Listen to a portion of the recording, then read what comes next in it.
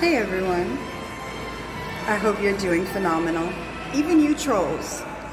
Cheers, trolls under the bridge. Good attempt.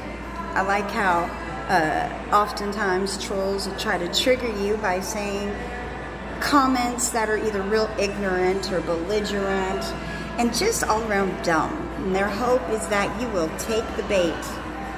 You know, the, the troll's goal is to destroy you. Like if they see that they could get a dig in somewhere and they think they could just, you know, put you down, they go for it. Why do you think trolls do that? Do they need a hug? Trolls in my life, which are very few, but do you need a hug? Do you need a friend? Did people not love you properly growing up? They didn't love me properly either growing up, but I didn't turn into a troll. Trolls. You know, maybe we could help teach you guys a better way too. Since I'm trying to learn a better way, how about you guys do the same? And instead of being dicks and leaving dumb comments on my page asking stuff like, do I do, do I do crack? Didn't Whitney say crack is whack? Anyway, I'm being silly with that part, but don't troll trolls. It's not worth it. It's actually kind of humorous because when you act above those levels of low level thinking and people who want to just try to destroy you in some way, shape, or form, you could look at it and kind of laugh it off because you see that obviously they have nothing better else to do with their time or they don't want you talking out and telling that particular truth. Gotta wonder why trolls troll. Hmm. GDK, for one.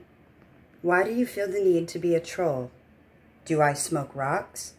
No, I'm quite educated and I'm trying to help heal others while healing myself. While you are over here throwing rocks. Instead of being a troll under the bridge, how about we change that mentality? Do you need a hug? You need a friend? That star on your page, it seems to be, tough, you know, like turned upside down. Maybe you forgot your lessons. I don't know.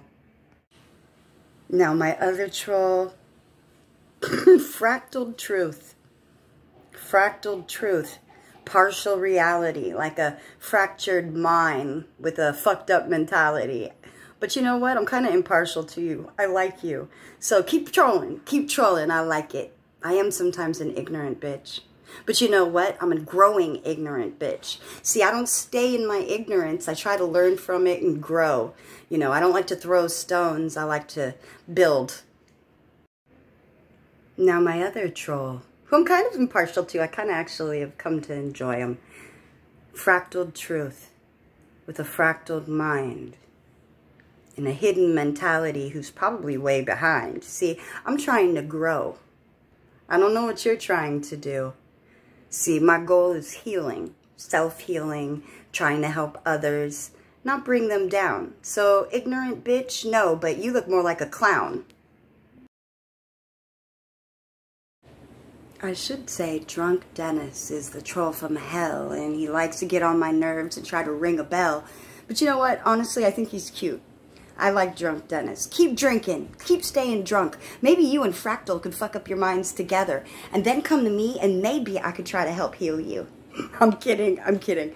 I don't know how, you, you could call me a bitch. It's okay. You spelt it wrong, but that's okay. I might be able to help you with that too. And if you need a hug or a friend, you know what? I'm down. Let's do it. a troll's ultimate goal is to get under your skin. But you know what? They're never going to win.